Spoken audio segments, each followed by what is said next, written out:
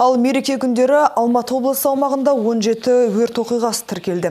Тілсіз жаудың дені жеке сектордағы тұрғын үйлерден шыққан.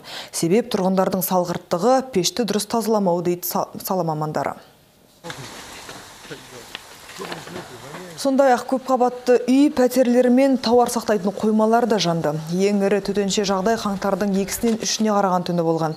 Яғни өртке қарсы қызмет көрсету орталығына Талдықорған қаласындағы Шаған базарының аумағындағы тауар сақтайтын қоймада өрт шыққаны туралы дабыл түсті. Жалпы 42 өрт сөндіруші 9 техника жұмылдырылып, қызыл жалын 2 сағаттан астам уақытта ауыздықталған. 17 өрт оқиғасында бір адам қаза болды бір адам жарақат алып және екі адам иісті газбен уланды. Осы көбінесе өрттер жаңағы тұрғын сектордері шығады.